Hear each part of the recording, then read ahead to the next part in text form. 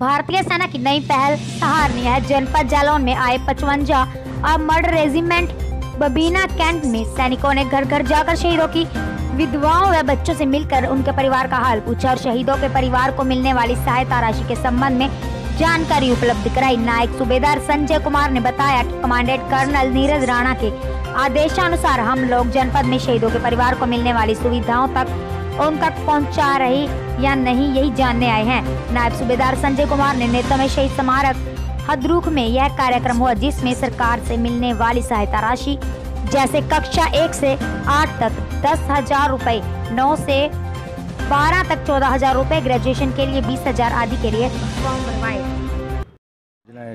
इस camp camp लगाने का हम लोग बबीना कैंट से आए हुए हैं।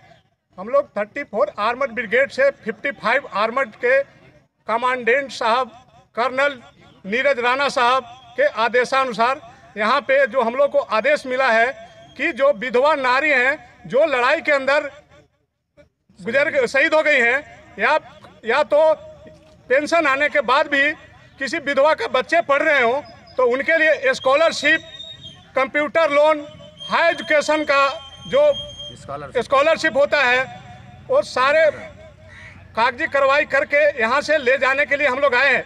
घर घर door door door to door हमने घूमा।